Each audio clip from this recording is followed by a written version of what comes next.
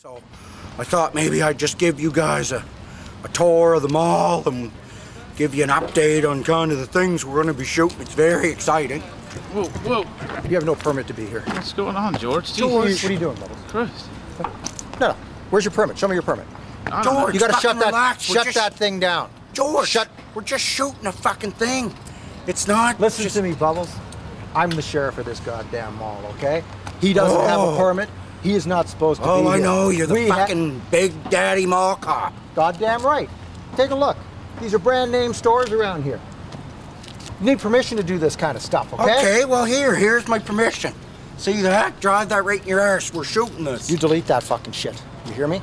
You, you're not. Shut that goddamn camera down, or I'm gonna shove that camera where the sun doesn't George, shine. I want to see your permit. You don't have a permit.